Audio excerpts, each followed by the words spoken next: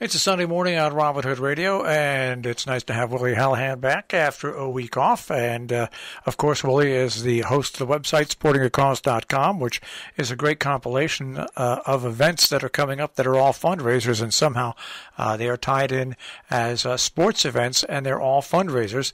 And this uh, event listing uh, goes up on in chronological order, so it's very easy to follow any of these events you want to support. Willie, good morning. good to have you in again. Good morning, Marshall. It's good to be back. Uh, seems like all is right with the world now that I'm back on Sunday mornings end the week that way.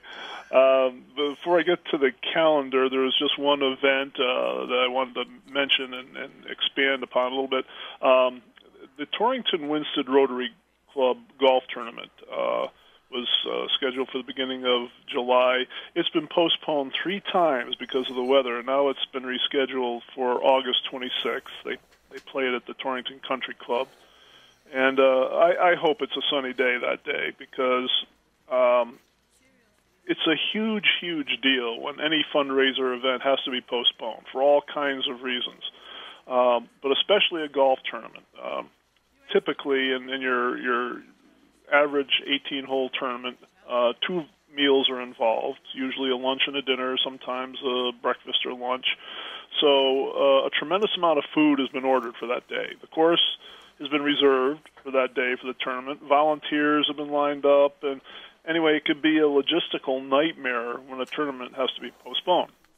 Not to mention the fact that uh, players who signed up to play on, say, July 12th may not be able to play on August 26th, so there might be some uh, loss of, of revenue that way.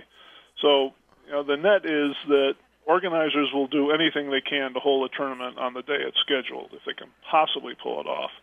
Um, uh, sometimes uh, while you're, you know, there's an intermittent rain or a light sprinkle, and they'll just play it anyway. I, I can't count the number of tournaments I've played in where uh, it's been raining to some degree or other. But these poor people, and this year, as, as we all know, it's been a, a rainy summer. So this is the third postponement for this particular tournament in all the aforementioned problems that come with it. So I pray that they, they have a, a decent day.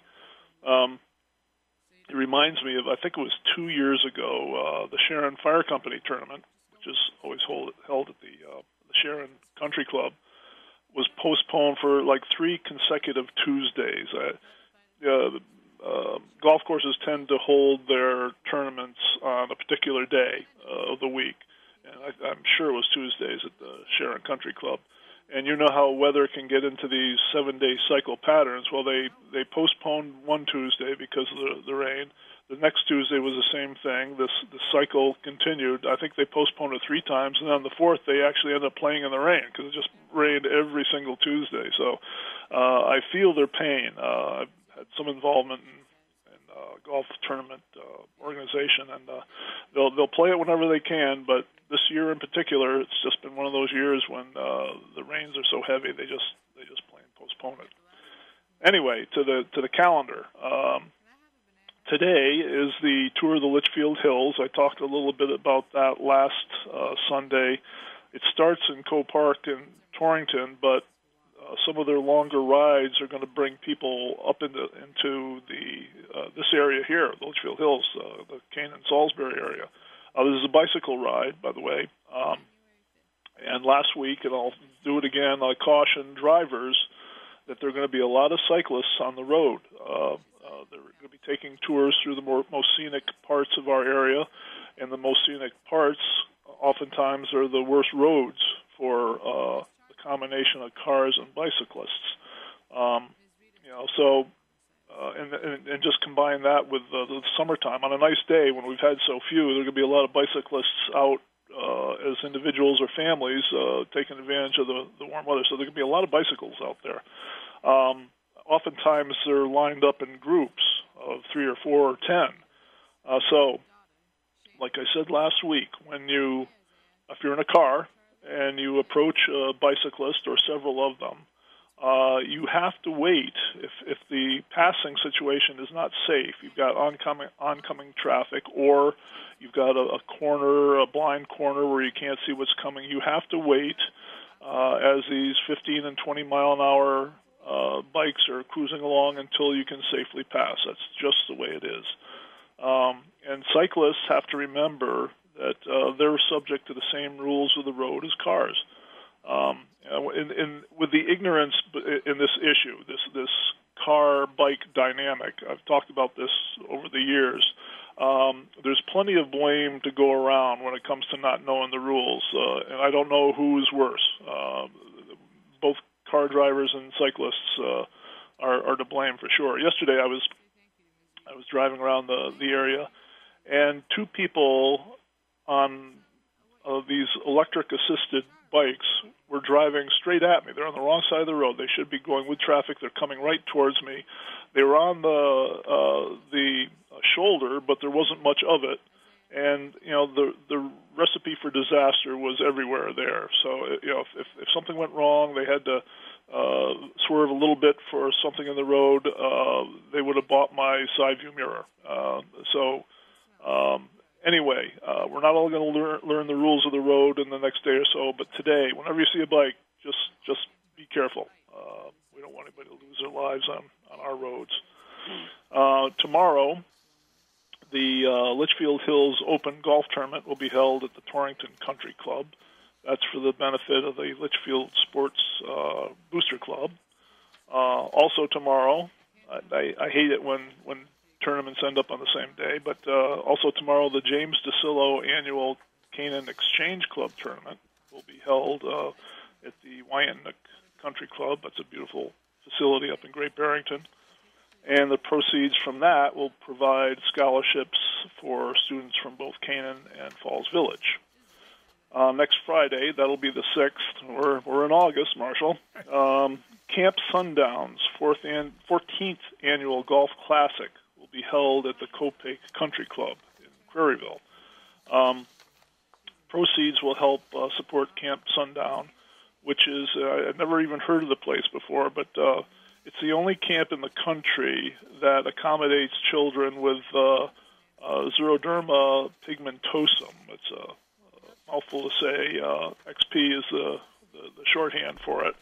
And this is really a sad condition where kids can't go out in the sun uh, because the sunlight will fry their skin.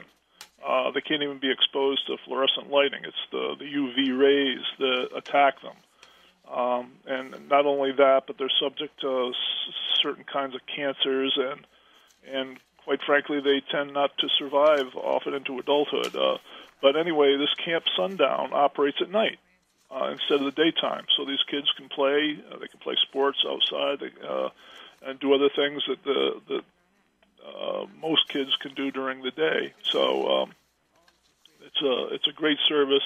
Uh, I, I hope to blog more about that condition and the, and some of the people who suffer from it in the future. Um, this coming Saturday, the seventh, the People's Forest Seven Mile Trail Run will be held at the People's Forest, excuse me, State Park in Barkhamsted. And uh, like uh, most events since the pandemic, regist- registration is online only. Uh, you just can't show up the day of the race uh, and expect to enter like you used to be able to in the old days. Um, I, I wouldn't be surprised if that becomes a permanent element of fundraising events. This notion that uh, um, you circumvent uh, the event day registration by doing it all online in advance. It makes it easier for the organizations, and uh, I, I, I expect that'll be a mainstay moving forward for just about any event. Um, next Sunday, the 8th, the Ancram Fire Company's 34th annual golf tournament will be held over at Undermountain Golf Course, Copake. Um, this is a handicap tournament where golfers play their own ball. Uh, most most tournaments these days use a scramble format, uh, where basically the foursome uses the best shot of the group. Everybody takes a shot, and they decide who had the best shot, and then they everybody hits from there. So uh, every shot and every hole is more of a group effort. Um, the handicap format that this one is is uh, much more difficult. Uh, uh, your individual abilities or lack thereof are in full view, and I'll, I'll be playing in that one. So uh, the week after, I'll report back on how badly I did. And of course, the proceeds from this tournament will benefit the Ancram Fire Company. And that about wraps it up for this coming week, Marshall. Well, you know, it's funny when I back when I played golf, and I'm going to be playing it again uh, next year. Uh, people always tried to figure out, uh, okay, where are we going to have where are we gonna, where are we going to take Marshall's shot? yeah, yeah. So, so, some of those tournaments uh, uh, require that. Uh, uh, even though you're using uh, the best shot, uh, they require X number of yeah. drives from each person. Um, you, you see some foursomes. You know, there there's certain foursomes that go there to win. I I tend to be in foursomes where you go to have a good time. You know, winning isn't even a, uh, in the cards, but you'll have one of the foursome uh, these super teams I'll call them that they, they can drive 300 yards, and then the other one's a, a great putter and and so forth. They almost engineer the team for winning, and there's nothing wrong with that. But uh, um, yeah, you and I, Marshall, we pl- we tend to play for the fun of it. Well, well, that's the whole thing, uh, and, uh, and and and the teams. I always got asked to play in a lot of different teams, and so uh, I ended up. My drive ended up being used on par threes a lot. yeah, well, that's okay. That's all right.